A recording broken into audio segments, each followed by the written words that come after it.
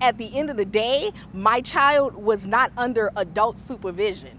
Frustration and confusion after the parents of a four year old autistic child say that he wandered out of his school last week and was found playing near the street. Our 10 News reporter Matt Boone spoke to the parents who say they have now pulled their son out of that school.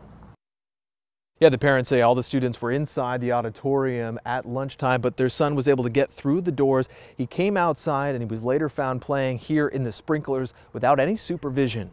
The parents of four-year-old Weston McKinney Davis will be the first to admit he's got a lot of energy. As his teacher says, she cannot handle him after lunchtime.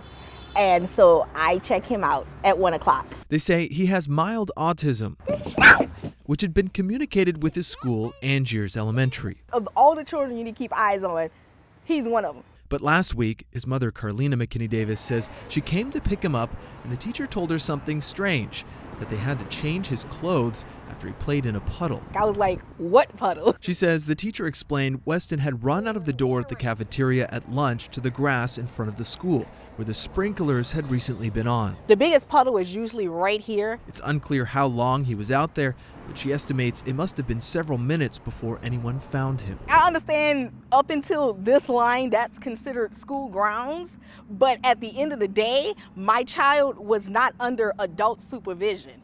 He is a four year old child that was out here for at least five minutes before somebody noticed he was gone. A spokesperson for the district didn't provide any details about the incident, but told 10 News the student never left campus. We're playing supermarket. And called the situation a misunderstanding. With sand! His parents worry it could have been much worse. He could have tried to walk home. He could have got snatched. He could have got hit. It, it, it could have been so many different variables that could have happened in five minutes. And the family says they have hired a lawyer and are considering legal action against the school.